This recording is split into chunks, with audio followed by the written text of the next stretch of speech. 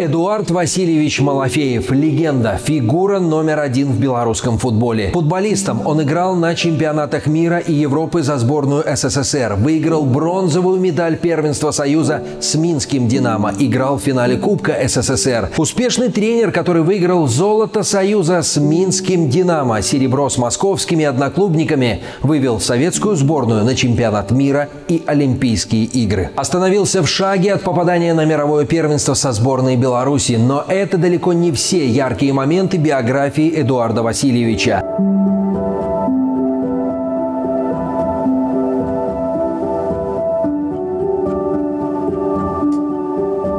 Наш фильм расскажет не только о его спортивных достижениях, но и о том, как закалялся характер Малафеева, как появился его искренний футбол, о принципах Малафеева в футболе и в жизни.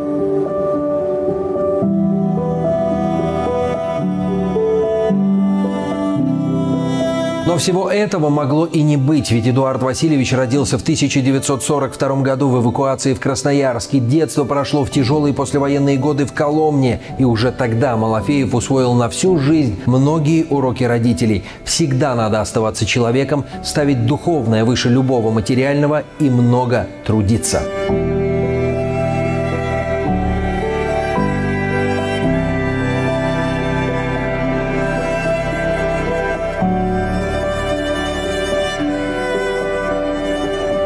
Действительно был человеком немногословным, если вот с другими. Понимаешь, в дело? Он такой был человек дела. Очень много умел. Но какой он чистюля был. Мы же водили. В тот период времени было же голодновато.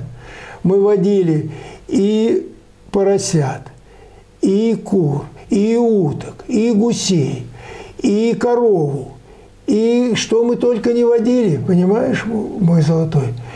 И это уже нужно, э, у же двор. Но если вы сейчас вот э, увидели бы в то время, я вот э, сам-то представляю, но я думаю, а как же папа так вот мог все делать? Он приходил с, с утром, вставал там за час раньше, и приходил когда. И такой э, двор был в такой чистоте. Как при всем при этом у него дело? хватало времени на футбол. Все хватало. На все. Если человек хочет в этом плане делать, это... Вот когда футбол-то он, наверное, начал заниматься, я-то еще маленький был, это вот ты хорошо задал вопрос. Видимо, когда футбол-то был, наверное, чуть полегче. Может быть, там где-то с точки зрения, наверное, и подплачивали немножко. Он и на заводе работал, и, видимо, команда чего-то такое, может быть, где-то какие-то маленькие, но маленькие деньжонки были.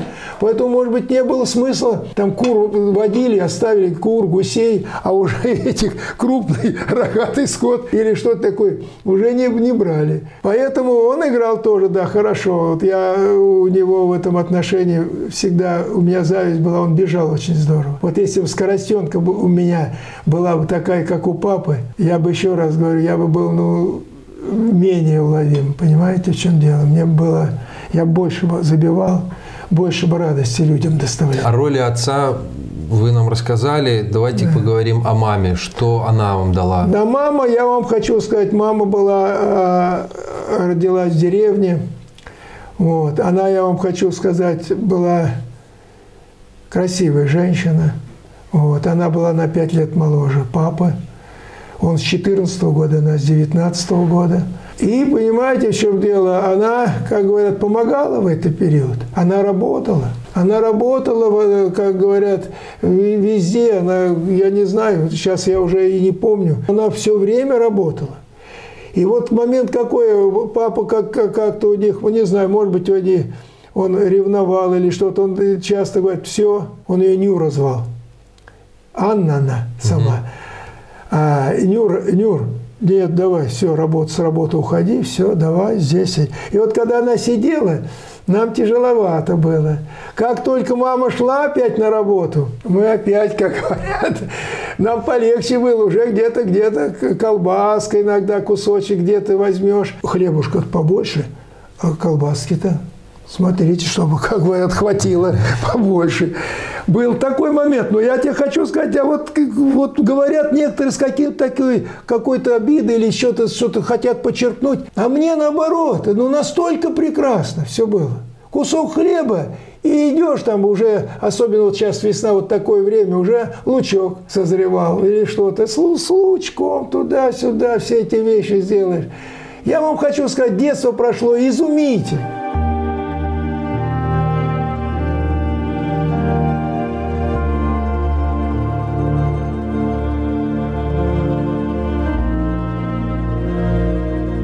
Страна после войны только восстанавливалась, а потому надо было много работать. Родители Малафеева не исключение. На помощь в воспитании маленького Эдика пришла бабушка Просковья Васильевна, которая сыграла в его жизни колоссальную роль. С раннего детства Эдуард Малафеев не только заразился футболом, но и знал наизусть много молитв и стихов. И это заслуга бабушки. Именно она начала развивать его память, воспитала в нем духовного человека. И сегодня Эдуард Васильевич может с легкостью читать стихи наизусть. И это в 80 лет. Бабуля меня под свое крылышко взяла, потому что мама и папа работали. И вот я с ней проводил все, все это все время. Она меня всегда брала в церковь. А уже где-то э, к семи годам я уже вам рассказывал, я уже помогал священнику, ризу одевал, пел на крылосе Э, вместе с хором. Бабушка всегда, э, как говорят, э, дружила со старушками. Ну и когда они сидят, эти старушки, она мне говорит, ты прочитай. Васи, Васенька она меня звала, я крещеный это Василий. Васенька, прочитай. Ну и я начал читать. Смотрю у старушек слезы. И она увидела, наверное, меня, что я так как-то на меня произвел впечатление, говорит, а ты можешь вот еще вот так вот я бы старушки будут приходить там тот. Говорю, конечно. И она вот так незаметно меня так втянула. Я и Пушкина, Лермонтова, то есть классику все изучал. И, и молитвы обязательно. Две молитвы, два стиха. Эдуард Васильевич, с самого детства, несмотря на тяжелое время, на работу, которой тоже приходилось заниматься, помогать родителям, было место и футболу. И таким образом вы доросли до э, любительской команды в Коломне а, до авангарда? Футбол всегда был тоже на первом плане. Видимо, то, что папа, наверное, э, был футболист. Мечи старенькие приносил. Мы их штопали все, мама там помогала. Мы даже создали эту уличную команду, улица на улицу играли. Мама пришивала номера. В общем, я вам хочу сказать, мы так организовывались. У нас было настолько этот лух, как говорят, э, нам очень важный, нужен. Мы ни в коем случае, мы там были, там и волейбольная площадка, и городошная площадка, и все остальное было.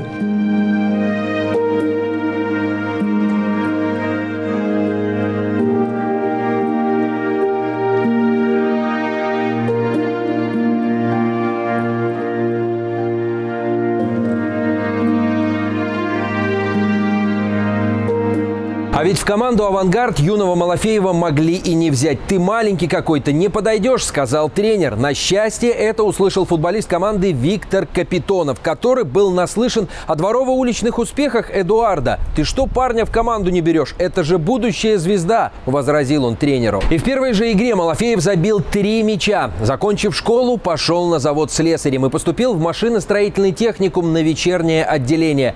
Так велел отец. Необходимо получить серьезный серьезную профессию. А в 1961 году тренер «Авангарда» Виктор Жарков рекомендовал своего подопечного в московский «Спартак». Казалось, что путь в большой футбол открыт, но Эдуард был вынужден отказаться. В семье не было денег на ежедневные поездки за 117 километров в Москву на электричке. Жарков отдал свой проездной билет. И этот проездной стал пропуском в большой футбол. Из дубля молодого Малафеева начали привлекать за игры главной команды «Спартака» и включили в состав молодежной сборной страны. Но в 1963 году Малафеев переходит в Минское «Динамо». Пригласил меня Севидов. А до этого я почему пошел? Во-первых, папа мне говорит, это э, республика самая нравственная. Одна из самых нравственных республик в Советском Союзе. Это раз. Второе, сюда, здесь, по сути дела, из «Спартака» Рюмин пришел. Вот Рюмин сыграл самую решающую роль в моем переходе сюда. Мы с ним дружили. Мне негде было. Вот я попал в сборную Советского Союза, мало это э, юношескую. Мне ну как, из Коломны ехать э, в аэропорт потом, как все. Вот он, я у него ночевал, бабуля, как, как сейчас помню, его яишенку нам утром сделала, и меня провожали в аэропорт. Я забыл.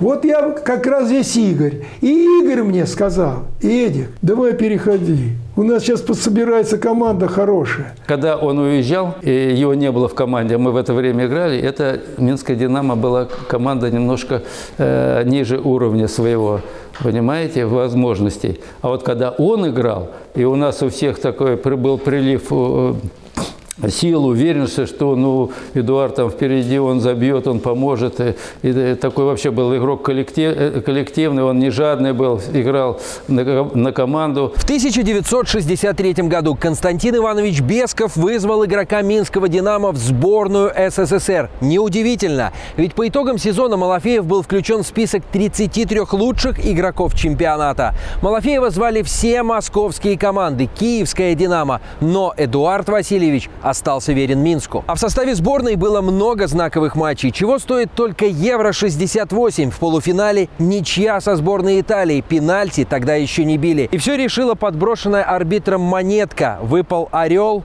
и в финал прошли итальянцы. Конечно, расстройство, страшное расстройство. Все это дело, ну как – могли за первое место играть, а так за, за третье, четвертое. Понимаешь, в чем дело?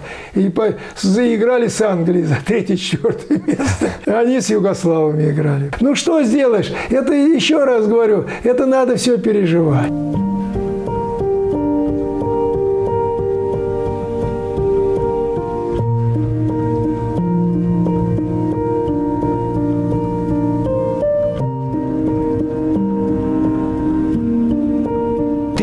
1965 год. Перед чемпионатом мира сборная СССР провела товарищеский матч с бразильцами на легендарном стадионе Маракана. Действующие чемпионы мира выставили сильнейший состав во главе с легендарным Пеле. Малафеев играет за сборную СССР. Приезжаем туда на, на матч. Народ еще это, ревет с трибуны, все остальное. Вот, там все говорят, ну, сегодня получите, сколько нужно, и так далее, и так далее. Вот, мы 2-2-2 сыграли. Да. Вот. И что я самое главное, мы в этом матче мне очень в это повезло. Он десятый номер, и я десятый номер. И мы, две швейцарские фирмы пришли. Одна швейцарская фирма часы нам дала, чтобы мы подарили бразильской сборной. А бразильской сборной, чтобы они подарили нам. И мы спили друг другу отдали часы. Тренером Эдуард Васильевич стал в 1975-м и в конце года принял команду Брестского «Динамо» в чемпионате БССР. А в марте 76-го в Москве открыли высшую школу тренеров, и Малафеев, не задумываясь, ринулся туда. При этом потеряв не только работу в Бресте, но и воинское звание. Он первым защитил дипломную работу и получил красный диплом под номером один, по сути, став первым профессиональным тренером в Советском Союзе в 34 года. Да еще и всем своим маститым коллегам по школе на прощание раздал свои принципы игры. Довольно дерзкий поступок молодого человека. Удивительно, но о тренерской работе футболист Малафеев стал задумываться в 26 лет. Тогда еще до конца не понимая, зачем и почему, но с первой тренировки в составе сборной СССР Малафеев вел конспекты. Мне очень было важно себе взять то, что много, вот особенно у Константина Ивановича Михаила Иосифовича Якушина. Я почему это все записывал, что это действительно выдающиеся были тренеры. Вот. И я это, да, и я вам скажу, они у меня и сейчас где-то лежат. И я, откровенно говоря, когда их проверяешь, у них интуиция была богатая. Для меня было интересно, почему я писал. Я вот при, приезжал сюда, здесь тренировки были. Вот у нас, например, было, Сан Саныч, помню, э, на тренировку да, скажет, как что, на, на, на тренировку шли, там встанешь на, на поле, он скажет, и побежали все. А у Константина Ивановича было так – Приходишь, там уже квадратики раз, размечены туда-сюда. Не бежать это, как это. Мне как, как я иду на тренировку, только бы не бежать эти круги. Эдуард Малафеев – человек, не изменяющий своим жизненным принципам. Но тренер Малафеев также имеет принципы футбольные. Им должны были следовать беспрекословно все его подопечные. Только тогда получается команда, способная решать максимальные задачи. Самые основные принципы игры, в принципе, принципы работы. Это у Васильевича были трудолюбие, самопожертвование, даже можно так сказать. Ну и самое главное, что он никогда не терпел, чтобы на футбольном поле получались такие моменты, что кто-то уступал в борьбе, кто-то, если, допустим, получил определенный ушиб, мог себе позволить, допустим, и поваляться на футбольном поле. Он сразу возмущался, если у нас только считалось, допустим, травма, это если кровь пошла, или, допустим, там уже образовалась такая гематома, травма, что ты не можешь двигаться. Там уже у нас и появились, э, собственно говоря, принципы игры, которые непосредственно нас висели, должны были запомнить наизусть. Да, но хотя в игре отдавались так, что это всегда помнилось. Придя в команду, он сразу же обозначил свои принципы игры, достаточно современные ну, с точки зрения постановки игры, результативности, быстроты а, перехода из обороны в атаку и так далее. Ну, естественно, во главу угла была поставлена э, дисциплина команды и взаимоотношения в команде между игроками и тренерским штабом. То есть он предполагал, что этот, ну, команда это должна быть вроде какой-то семьи. Понимаете, он пришел, обозначил свои принципы, да, и всем было все понятно. Главное, что он э, условно э, раскрепостил всех ребят, то есть проповедник был такого футбола, ну, скажем так, импровизационного. То есть, э, но, но импровизация не до безумия, что хочу, то и ворочу. У него, то есть он приветствовал такую разумную, креативную игру в основном в атаке. Понятно, что в обороне это такая линия достаточно, она постоянная, и основные принципы футбола, они всегда сохраняются. А уже в атаке, да, это импровизация, это условно полет мысли. Выделить э, его вот конкретный матч это невозможно. Он, он к каждому матчу относился как к последнему. И настраивал ребят, вот, чтобы с первой до последней минуты только атакующий футбол. Вот как он сейчас называет эту тику-таку, это, это, это, говорит, не мой футбол. Наш футбол – это все время вперед, обострение, передача врывание в штрафную площадь, борьба до конца, не останавливаться. Он проповедовал такой футбол, до ребят дошло, и нас признали в Советском Союзе, что мы очень агрессивный, хороший футбол играли. Были принципы э, у Васильевича всегда э, четкие и ясные. Всегда не только для игроков э, команды, значит, основного состава, не только в учебно-тренировочном процессе и не только в игре, но и для нас, те, которые работали с командой. Значит, это медицинский центр, это и администраторы, это и начальник команды, это и тренеры. И в первую очередь это быть человеком, быть э, психологом. Почему? Потому что футболист – это очень тяжелая профессия. Очень тяжелая профессия. Он устает не только морально, но и физически, потому что по две тренировки в день где-то недосыпание, где-то э, в семье ребенок заболел. Футболист, он э, такой, что он волнуется, потому что мы все время были на сборах. И они, э, эти ребята, э, всегда ищут э, добро. Добро э, от тренерского состава, добро от медицинского персонала, добро от наших девочек, которые обслуживали э, на кухне, от повара. Понимаете, все это, это от работников работников стаек, начиная от работников, тех, которые отвечали за футбольное поле, работников э, тех, которые отвечали за быт э, э, футболистов. Понимаете? Поэтому э, мы вкладывали все для того, чтобы футболист как можно меньше волновался, как можно э, меньше тратил свою энергию по пустякам. Эдуард Васильевич Малафеев говорил, это играйте изо всех сил. То есть то, что у вас есть, то, что вы можете отдать на поле, отдать. Перед каждой игрой он все время говорил, что я хочу, чтобы вы 50-60 минут, но был максимум на поле. Тем самым он давал понять, что выходи и действуй на максимуме. Игра – это бой, а в бою температуру не меряют. Я играл с температурой. Были такие игры. 38 и вперед. Там врач какой-то укол сделает для понижения. Вот настроение такое было, что играть, играть, и мы играли, получали удовольствие. И готовы были хорошо, функционально. Сейчас игроки, тренеры некоторые стонут, как можно играть через три, через два дня, как можно играть в Европе через три дня все время. Если взять Киев выезд, перелет в Алмату через два дня, перелет в Ташкент через три дня. Киев 3-2 обыгрываем, в Алмате 2-2 и 3-0 в Ташкенте в 40 градусов. Все упирается в подготовку. А подготовка – это каждодневный труд. Всегда хочу от своей команды видеть максимум на поле.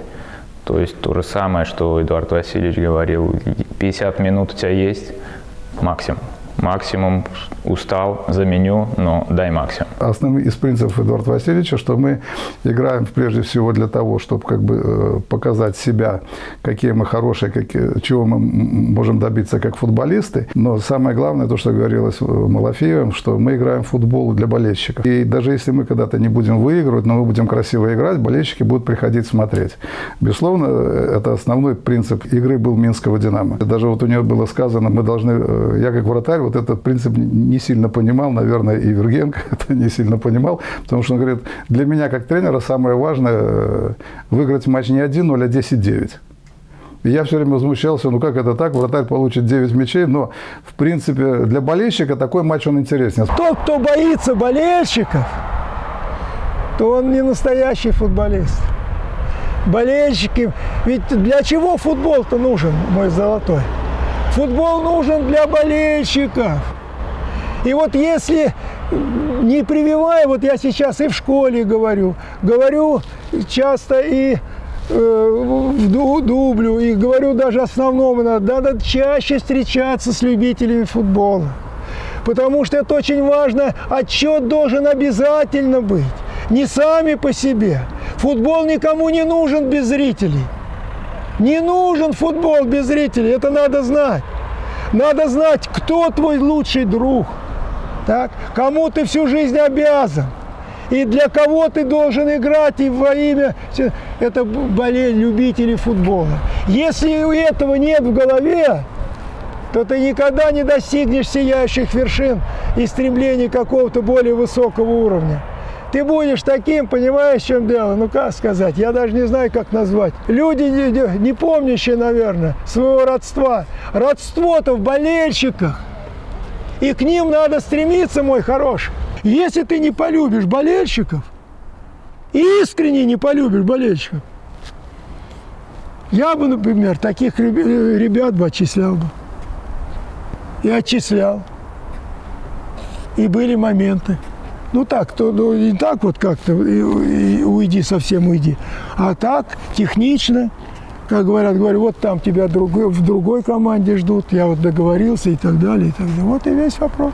Футбол, который проповедует Эдуард Васильевич, настоящий. Каждая атака должна закончиться ударом по воротам, чтобы футбол нравился болельщикам. Только вперед и быстрее. Выиграть время, выиграть все. На поле не должно быть равнодушных. Сам Малафеев отдавал всего себя, будучи футболистом. И став тренером, требовал стопроцентной самоотдачи от своей команды это искреннее отношение к его любимому футболу. Искренний футбол – это ваш бренд. Так. Но вот он появился, вам один из журналистов вот подсказал вот это словосочетание, да, вот и оно закрепилось. Это не один, а это вот здесь вот это вот его дача здесь. Угу. Вот почему это как раз его супруга как раз вот посоветовал, чтобы мы здесь вот вместе с ней сидели. Болдырев Дмитрий Михайлович. Там много, я вот так же вот рассказывал ему, как вот с тобой говорю. И он сказал, что это искренний футбол. И, и вот в такой искренний футбол играют не только ваши команды, но он, как мы с вами уже беседовали, есть в Англии, да? Вы как игрок... Но он везде есть. Он везде есть. Везде есть. Но вот Но Англии... больше, да, вот это вот ты правильно очень подвел как раз. Молодец, э, э, Максим, подвел. Дело в том, что вот оттуда, наверное, все и зародилось у меня. Вот этот динамичный, искренний футбол в, в Англии, особенно я когда посмотрел вот эти четвертую, пятую лигу там, третью, эти, и везде такой футбол, что это не уйдешь оттуда. Потому что настолько они отдаются этому матчу, даже на такие матчи ходят полные стадионы, там они поменьше эти стадионы. Четвертых, все, пятых лиг. И все это дело идут. И вот эти, поэтому я это не только принял, это вопрос самый главный. И меня вот осенило, наверное, вот это, и как раз Дмитрий Михайлович, как он сказал, вот это вот искренний футбол есть. Когда меня, меня же смеялись, потом часто под, как бы подкалывали. Я говорю, да вы же сами иногда играете в искренний футбол. Вот тот же. Разве Киев не играет в искренний футбол, я говорю. Смотрите, какие труженики, как они, как болельщики болеют за них и все остальное. Я же вот так. Поэтому у меня никогда не было такой какой-то слишком злой предвзятости э, этому Лобановскому. Зачем мне нужен? Другое дело, что он, мне его, как говорят, он человек был, вот мне так казалось, он был человек, который все до это, в борьбе все приемы хороши. Или там, как это говорится. А я нет. А я нет. Нет. Каким это способом, это тоже очень вопрос важный. Он эмоциональный, он переживал и, и проживал игру, наверное, как, каким мы, да, вот есть хорошие слова, что каждую игру э, у, у артиста, что каждый спектакль надо прожить. Я думаю, он каждый матч проживал именно проживал. Не просто он проходил этот матч, а именно проживал. Это его эмоциональность, допустим, естественно, тоже передавалась и многим ребятам. Бывало такие э, моменты, когда в жизни э, там тоже на установке некоторые наверняка были у нас и такие, которые сидели, блин, опять говорит, уже все знаем, все это. А потом, когда вот эти порывы его, всех, всех встряхнет, все, все уже все нормально пошли. Я никогда не сидел на скамейке. Я всегда ходил. Я всегда ходил. Я настолько эмоционален был. Я вот сейчас смотрю за некоторыми, есть подражатели мои, много подражателей. Понимаешь, я не мог в этом отношении. Я все время говорил, я все время разговаривал с народом в смысле там с, с болельщиками, все время разговаривал, все время здесь. Здесь даже вот таким образом иногда было, вот когда там, ста, ста, я же стою все время, стоял, я даже где-то делал, и когда вот я как где-то идет, кто-то играет плоховато, я где-то даже повернусь к болельщику, к болельщику повернусь, я говорю, вот видите, мой, мои хорошие, я ему говорю, Петя, ты вот посмотри, болельщики-то что, видят, не нравится ты сейчас играть, ты игрой-то такой, мой хороший. Ну ты давай прибавь, как мы договаривались играть-то? Мы же, ты помнишь, как э, начиналось, начиналось у нас и начинается установка? Что я первый спрашиваю? А я спрашивал одно, когда вот шел на установку. Говорю, все живы-здоровы. Кто сегодня не может играть в полную силу? Молчок. Молчание – знак согласия. Говорю, хорошо, но учтите, если только кто-то выйдет на футбольное поле и будет не выполнять полностью так, о чем мы договорились, пеняйте сами себя. И вот я начинал. Даже где-то вот иногда, когда я был слишком раздражен и ну, пришлось, ну, приходилось и убирать ребят, и все остальное. Вот. Моя задача была обязательно отпитывать. То есть мы договариваемся, что вот играть, играть вот здесь, там, например, от своей штрафной площади здесь играть в одно касание. А там кто-то передерживает. И не один, а там два-три человека сразу. Все, ритм убирается. Что я говорил на тренировой установке? Ритм главный в, жи в жизни команды. Что же вы, подлецы, там делаете? Вы там, говорю, Петя, как тебе не стыдно, мой золотой, а? Что ж ты делаешь-то? Почему ты мяч передерживаешь, дорогой ты мой? Подскажи, Сережа, там Боровский, капитан, подскажи, Сережа, ну разве так можно? Ритм давай. И все, и вот таким образом, а как, по-другому? Подсказки всегда были, и всегда, иногда они были просто, я уже как сейчас тренер, что, ну, чтобы держать ритм. Кто-то играл в одно касание, и он кричал в это время, подсказывал быстрее, быстрее. Ну, получалось, что вроде как слышишь, но просто играли в одно касание. Мы нас научили этому. Он научил играть в одно касание. Да его весь матч было слышно. Так, и иногда как-то и отвлекало, но, в принципе, громадное уважение было к нему у всех ребят, да, и никто как бы особо и не мог ничего, скажем, в ответ сказать. Ну, там чуть-чуть перекинуться, если только Прокоп с Подышем. Ну, а так все воспринимали. И вообще он такой, если его что-то не устраивало на футбольном поле, он игрока мог бы заменить независимо от э, возраста, от статуса и тому подобное. Мог и на 20-й минуте первого, мать, первого тайма заменить. Эдуард Васильевич – это отдельная страница э, в моей карьере тренера. Это человек эмоциональный, это человек всегда может завести команду. Его, конечно, выражения до сих пор в голове остаются.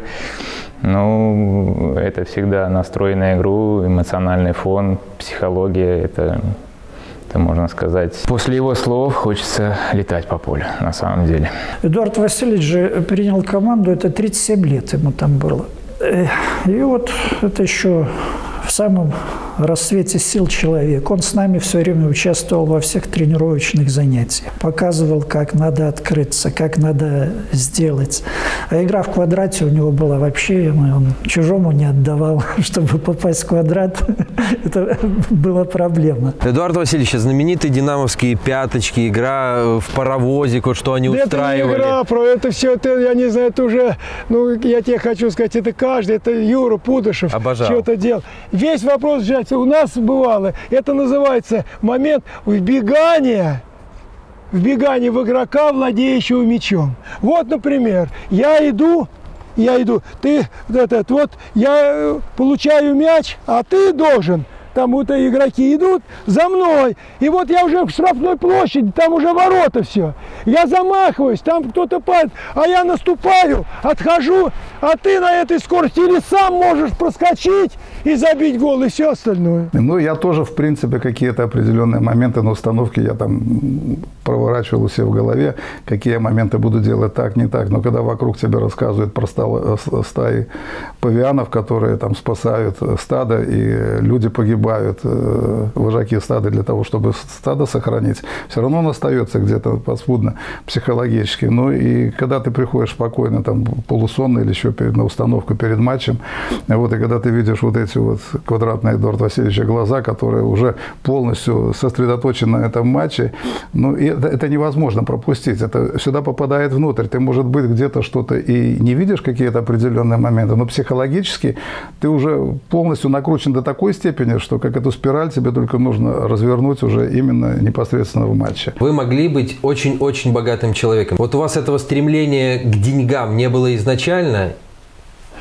Но дело в том, что я э, родился в простой рабочей семье. Понимаешь, в чем дело? Я был всему рад и доволен, то, что даже пусть где-то и жили, а мне казалось, что нам все хватало всегда. Потом я вот начал, когда играть в футбол, наоборот, это мне показалось, что это как-то мне, мне даже первый раз, я даже стеснялся идти получать зарплату. Понимаешь, в чем дело? Потому что, думаю, ну как, видишь, это мое любимое дело, и вдруг я еще и деньги получаю за это. Ты понимаешь, в чем дело? Это, это одно, одно момент такой. Но потом второе, я в этом отношении, ну как сказать, благодарен себе. Я не знаю, это, откуда это идет у меня, но я ни, ни копейки, ни, ни, ни одной копейки за игрока не получил. Хотя, как говорят, кто выращивает игрока, он имеет право. Где-то да. там 5, сколько, я не знаю, там процентов или что-то было. Потому что я очень много вырастил, ребят, но ни копейки не получил за это дело. И не то слово, я дай бог. Мне самое главное, я, вот, я настоящий тренер. Понимаешь, в чем дело? Настоящий тренер. Я не барыга, понимаешь, мой хороший. Вот в этом и есть осмысление и смысл жизни. Здесь от нас зависит от уже от, э, от того, как, какие мы родились. Ты понимаешь, в чем дело? Ситуация какая? Я не знаю как. Мне хватало и, и все остальное. Только просить здоровья и все остальное. И, а больше ничего не нужно. Где, где, а как? Ну хватает все, безбедно живем и дай Бог. И дай Бог. Угу. Ну чего же еще-то желать больше? И так у отца было всегда у меня в этом отношении. Э. Вот. Понимаешь, в чем дело? Другое дело, что время, может, время меняется какое-то. Ситуация такая, там что-то, то-то, там, а вот детям, а другим, то-то. Ну так елки-палки. Ну, дети уже пусть сами терпят или что-то такое, как говорят. По мере сил возможности, то, что можно помочь, помогаешь. Деньги для него вообще не ценность. Ну, прямо от слова совсем. Он, правда, очень-очень много... Ну, как помогает, да? То есть э, он никогда никому не отказывал. Это не зависит ни от степени родства, а, не от степени, ну не знаю, близости, да, то есть э, это какая-то такая его часть, готовая раздавать все всем, а, и в каких-то невероятных размерах. Всем давал какие-то хоть маленькие подарочки. Но своему лучшему другу Мустыгину тоже сказал, он всегда там привозил бусы, там он дарил, да. Но нам там, может, жвачки, какие-то значочки. Ну, неважно, важно, что, знаете, видно, что человек такой, ну, добрый. Я помню, что он привозил сумками спортивными семечки. Это было что-то с чем-то. То есть он уезжал с, этим, ну, спортивной сумкой своей, приезжал с пакетами э, вещей, ну, потому что это все перекладывалось. Вот эти вот спортивные спортивные сумки, которые были, он, привозил семечки. И вся семья садилась, и жарил семечки только папа, потому что он как-то, ну, они у него реально очень вкусно, он привозил эти пузунки, или как-то они так называются. И вот он мыл их, потом жарил их. В общем, вся семья сидела и наблюдала за тем, как он жарит, потом все сидели, ждали, когда это все остынет, и все лузгали эти семечки. Вот это вот очень, вот это я точно помню. Он привозил вещи, но я так понимаю, что... В общем, он все время привозил что-то, то, что не подходило, скажем так, да, или очень большое, чаще всего, или очень маленькое, да.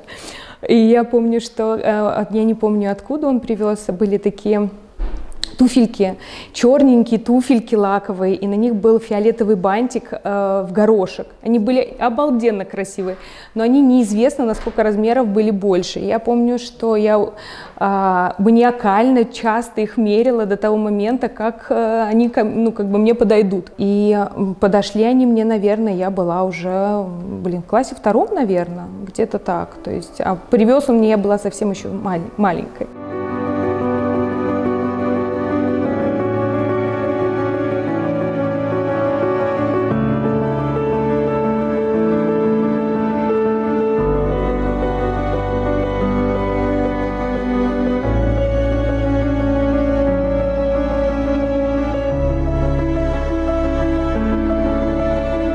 Но не только о футболе. У Эдуарда Малафеева есть замечательная семья. И здесь мы узнаем о скромном и чутком Эдуарде Васильевиче, любящем не только футбол. Что касается семьи, Эдуард Васильевич, конечно, очень любит э, Дину. У него три дочери, между прочим, да. Я так э, ему иногда я говорю, Васильевич, ну что, дрогнул пойти на четвертого, да? Отказался.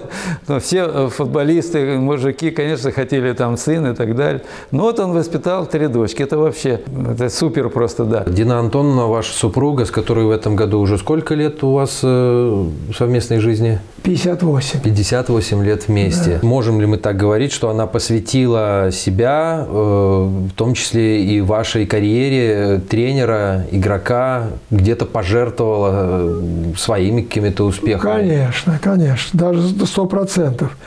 Дело в том, что здесь сто процентов это, конечно. А как она вас а. поддерживала, Дина Антоновна? Ну, как поддерживал? Потому что ну, здесь было всегда, я приезжал всегда с, такой, с радостью домой. С большой радостью приезжал. Всегда. Мне было приятно, мне было радостно всегда в этом отношении. Мне было приятно и радостно видеть ее, и, как говорят, и семью, и все остальное. То есть это было железно. Когда папа приезжал, а, несколько дней у нас а, был полный локдаун. Да? Надо было ходить на цыпочках, не заходить в комнату, папе надо было отдохнуть. И а, я помню, что я была маленькая и очень, ну, не совсем понимала, да, мне так, я соскучилась, мне так хочется пообниматься, поприжиматься, поговорить, да, мне так вообще нельзя было заходить в комнату. Мама так очень охраняла его покой, его здоровье. Мало уделял внимания. Детям уделял внимание очень очень мало. И у меня было очень, э, как говорят, э, ну не удавалось мне, э, как детьми. Единственное, младшую, вот я вспоминаю, вот этой Катеньки, угу. я читал, она сейчас уже не помнит, я ей читал столько сказок, и я читал каждый день, и она выучила наизусть их папу? И сейчас не помнит. Он был очень нежный в детстве. Ну, те моменты, которые, скажем так, э, мы были вместе, их, конечно, было очень мало, но а, тогда, когда он был, он был очень нежный. Он мне читал сказки как-то. Я не помню, чтобы мне мама читала, да, вот папа читал сказки, и а, Пушкина а, мы учили вместе. И он так, я так понимаю, что получал истинное удовольствие, когда я их, ну, рассказывала, декламировала, да. И я даже помню а, такие моменты, когда у нас собиралось огромное количество народу после каких-то там э, событий, и меня так э, ставили на эту табуретку, да, знаменитую, да, и я так э, рассказывала, и мне аплодировали, хлопали. Это были такие очень приятные, теплые моменты из моего такого детства. Тем не менее, есть внуки. Вот э, дедушка Малафеев уделил внукам больше внимания, чем де- детям. Вот всех больше я уделяю, уделил, вот сейчас я как раз уже в возрасте в таком, больше уделяю Кириллу. Вот у меня, да. Я вот, у меня такая именно дедовская любовь к нему. Вот да, если честно сказать, я отдаю, откровенно говоря, все ему. Я перед ним как-то даже и балую его, и все остальное неправильно делаю неправильно. Ну, вот так вот, как говорят, в этом плане. Да, вот сейчас Кирюха младший. Говорю ему, каким он должен быть. Знаю, что все равно в одно ухо пока влетает, вылетает. Ну, некоторые моменты, что все равно цепляется, наверное. Вот. Мне очень хочется, чтобы он был, понимаешь, чтобы проявлял доброту к людям, чтобы добрым был чтобы он каким-то образом, понимаешь, в чем дело. Пусть я говорю, ты взрывной, он тоже такой взрывной мальчик и все остальное. Ну, в этом плане лучше Кирюшенька, ну извинись тогда. Первого внука он так не прочувствовал. Первый внук а, был тогда, когда он а, горел еще на работе, да, и он проходил так, очень-очень вскользь. Папа пытался сделать из него футболиста, но что-то пошло не так, видимо. Вот. Когда появился уже ну, мой сын, а, это стало просто для папы каким-то невероятным счастьем. У нас есть фотография, когда он сидит в кресле, и этот мой маленький Кирюша такой, ну совсем еще может быть там месяца два, там два с половиной, и он так лежит у него на груди, спит, и надо просто видеть, видеть было выражение лица папы, умиление, просто бо, бояние вздохнуть, выдохнуть, чтобы его не разбудить, и это продолжается и сейчас. Очень беспокоится, он ему каждый день звонит, но моему сыну сейчас 13 лет, переходный возраст, понятно, что ему ну, сложно дается такая забота, но он держится, Вот, поэтому заботится, заботится очень, очень любит, очень заботится, очень переживает, очень часто пытается э, учить его, да, папа любит учить, любит учить всех, вот, и внук, и я как бы не исключение. Но это так, я понимаю, что так проявляется его забота. На, моя умница, на, моя хорошая. На, моя умница, на.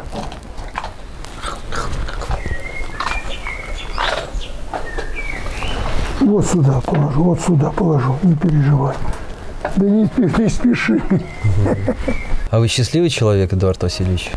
Ну, я вам хочу сказать, знаете, я вам скажу, счастье ведь это что? Счастье это ведь всего, даже не горское, чуть-чуть, чуть-чуть, чуть-чуть, чуть-чуть, чуть-чуть. Чуть-чуть.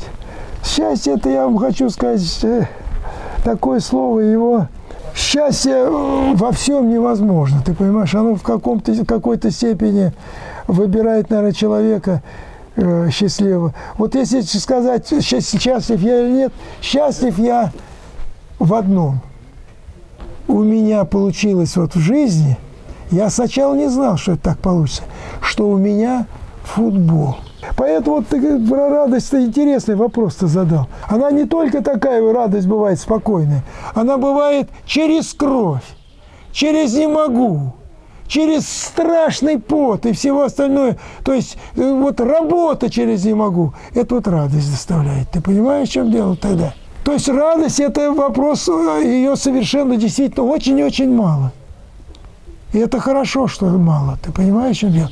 Потому что надо, во-первых, чтобы получилась радость, ее надо как кремнием вот выбивают искру, так вот это и это и в жизни нам надо все это дело делать. Радость это, оно такое э, ну, неоднозначная. Мы понимаем ее, а я бы ее, э, трудно ее описать всеми. Даже человеческими словами ее трудно говорить. Ее только можно чувствовать там, внутри, сердцем.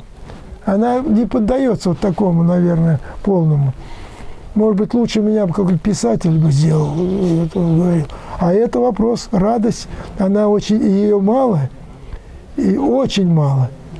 И ее, ее надо дорожить. И если она получается у тебя, получается у тебя, значит, ты прожил жизнь не зря.